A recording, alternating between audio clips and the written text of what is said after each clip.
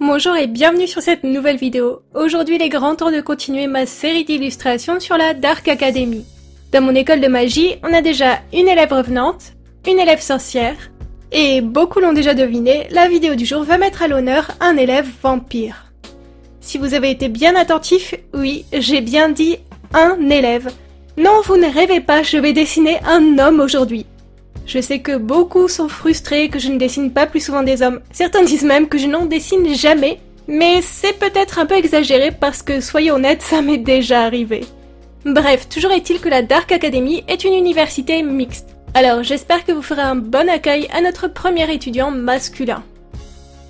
Quand je pense vampire, je pense cheveux longs, sang qui dégouline de la bouche, attitude assez sexy ou du moins un brin provocante, chauve-souris, grand vitraux gothique, torrent de bougies et de chandeliers, croix, pieux, cercueil, en gros je pense à un bon paquet de clichés, et j'ai essayé d'en réunir un maximum sur mon illustration.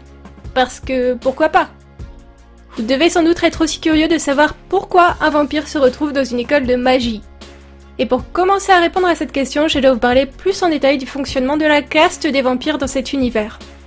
Les vampires sont des êtres puissants et immortels. Du fait de leur très longue vie, ils ont mis en place des règles très strictes quant à la création de nouveaux vampires. Il est très important pour eux de réguler leur population pour éviter d'entrer en conflit avec les autres castes. Car plus il y a de vampires, plus il faut de ressources pour les nourrir. Et les vampires se nourrissant de sang, ça peut vite devenir compliqué. Une autre particularité force les vampires à limiter leur descendance. Lorsqu'un humain devient vampire, il a énormément de mal à se contrôler au cours des premières décennies de son existence. Il peut entrer dans des sortes de frénésie violente lorsqu'il est confronté à de fortes émotions ou à une odeur de sang. Ce sont des aspects qui s'atténuent bien sûr avec le temps. En vieillissant, un vampire gagne en force et en contrôle. Du coup, chaque vampire qui décide d'en créer un nouveau est responsable de lui. Il doit l'accompagner pendant une longue période et lui enseigner le contrôle et la maîtrise de soi. Maintenant que vous avez le contexte, je vais en revenir sur l'histoire d'Edward, notre vampire élève à la Dark Academy.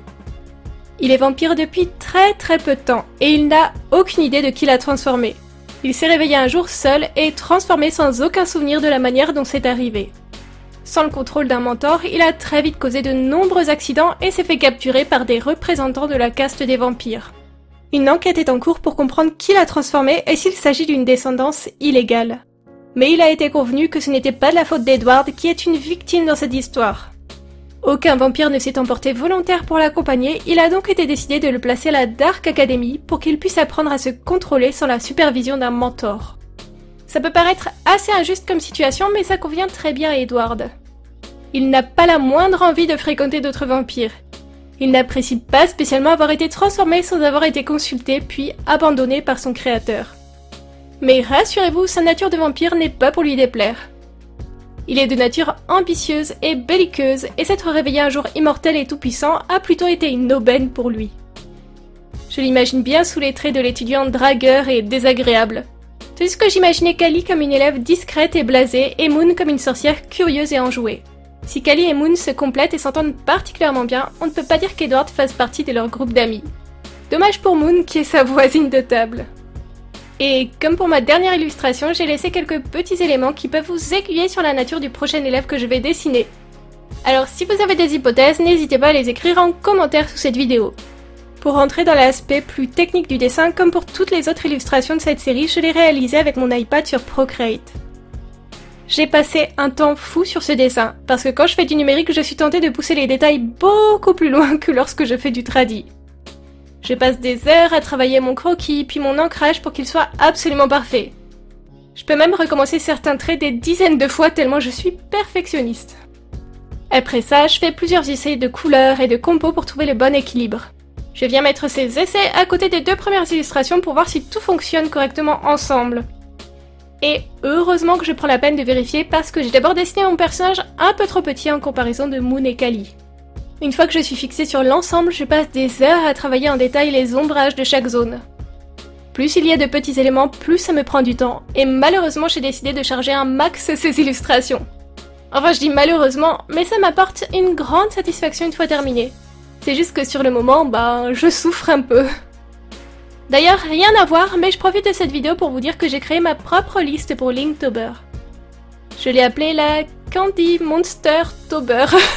C'est un peu laborieux, mais en gros, je vous propose de dessiner chaque jour du mois d'octobre une créature inspirée par cette liste de sucreries.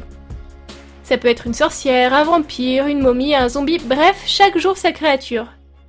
Je ne pense pas avoir le temps de dessiner les 31 jours de ce challenge, mais je vais essayer d'en dessiner quelques-uns.